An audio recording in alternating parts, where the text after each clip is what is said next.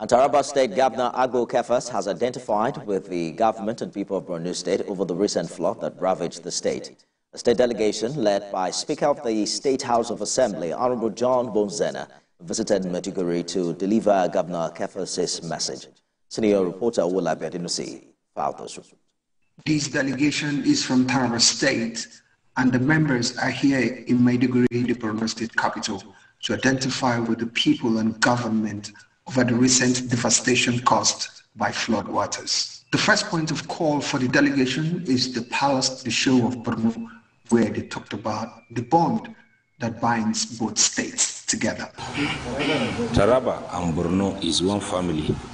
We are happy that you people are here to identify with us as a family. Shortly after the visit, the delegation moved to the Borno State Government House, where the donation of 175 million naira was announced.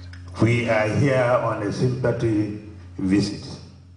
Your colleague and brother has asked us to eh, represent him and come and commensurate with you because of what happened here. In his response, the governor of Borno State, Baba Zulum, says he is overwhelmed by the visit as it shows the desire of Governor Agbo Kefas to unite the northeastern region of the country. We are overwhelmed to receive such delegation from Taraba State. We have about 15 emirs led by the Taraba chairman of the Taraba State Council of Chiefs. This large number of delegation comprising of emirs like this have never faced such visits to us in Borno State. That's such large, large number from one state.